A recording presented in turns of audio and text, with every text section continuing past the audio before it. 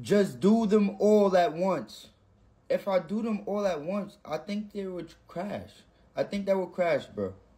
But since you just making it seem so easy, you just commenting on my video, just saying it's so easy, and just do them all at once.